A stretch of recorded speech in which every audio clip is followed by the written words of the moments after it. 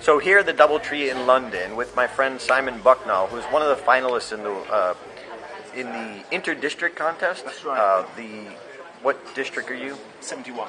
District 71, which is London and Ireland. Is Yeah, that UK correct? and Ireland. UK and Ireland. So I want to ask him what's his best advice, since this is speech contest time of the year, for speech contestants. What did you learn, or what wisdom can you give? Best advice I can give is twofold. Number one, make one point only. Just focus on one single key message rather than say too many things. There's power in single mindedness.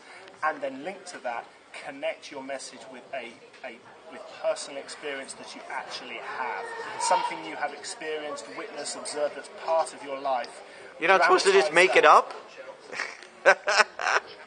Think I tried that and I got booed off stage. Just kidding, just kidding. But it's got to be real, and the challenge is that it may just be a story that you've never thought of telling before. But if you do it, then it'll be real, you'll be credible, and it's, if it's connected to a single message you want to get across to people, you're much more likely to be remembered. And how can people get in touch with you? Easiest way is either Twitter, which is at Simon Bucknall, or uh, my website, which is www.theartofconnection.co.uk.